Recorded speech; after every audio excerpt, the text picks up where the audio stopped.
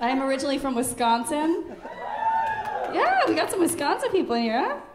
Um, I was just back here for the holidays. I was in. It was a really tough thing, wanting to come back for the holidays because I, I I didn't want to. I didn't want to come back for the holidays because I could fly to Wisconsin from Los Angeles for seven hundred and fifty dollars, or I could fly to Paris for four hundred.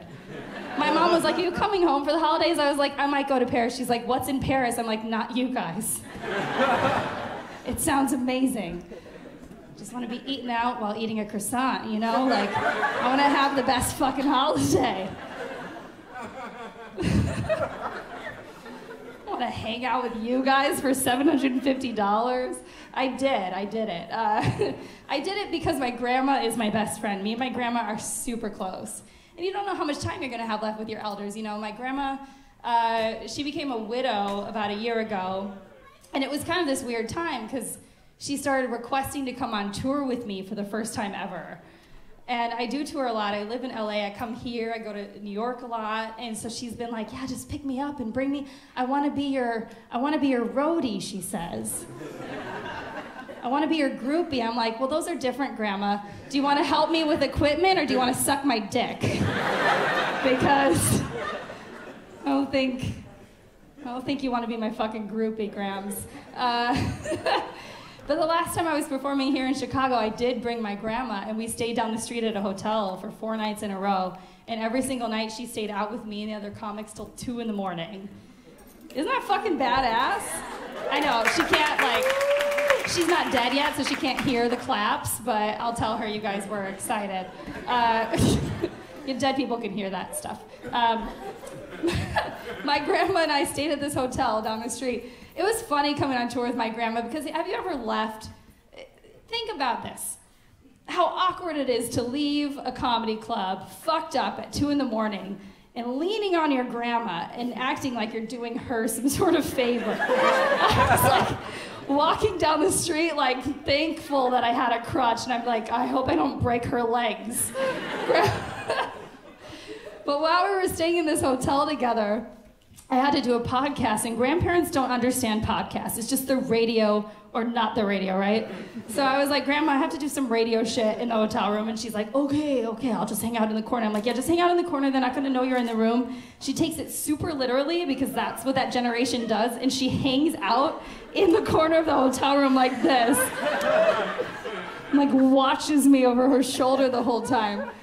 But at the end of the podcast, the guys on the other line were like, All right, Natasha, it's been so fun talking to you, but we just want to know what is it like trying to make it in Los Angeles? What is it like trying to be a comic, a woman in comedy? And I kind of took it in and I was like, You know, I think we're all just trying to not die. And my grandma screams from the corner of the room, I'm trying to die. I want to fucking die. I'm really ready. So grandma's banned from podcasts. Uh, officially banned. Um, after this, I'm going to read you guys something amazing. Uh, after this trip to Chicago, I called my grandma back in Wisconsin. I was like, listen, bitch, uh, you're a lot, and I love you, but like, we need to find some friends that are your age that know what you're going through. And I signed her up for this widows club. And she kind of fought me on it, and I was like, just go, just go and hang out and see if you meet some other people that you enjoy and relate with, and she did it. I called her the next day after the Widows Club, and I was like, How was it? How was the Widows Club, Grandma? And she's like, I Hated it. They're all fucking old. And I was like, All right, cool. All right, dropped it. Next week, I get a letter in the mail. It was a letter, it was a questionnaire from the Widows Club that my grandma filled out. It was six questions to try to make these women love life again without their spouses. It was my grandma's six answers to these questions.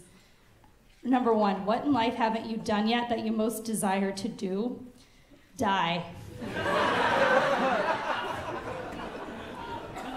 What's your biggest regret in life? Not being dead yet.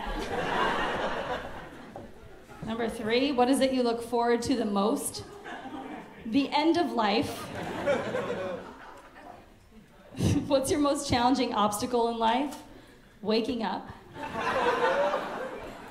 When you wake up in the morning, what is your first thought? Oh shit, not again.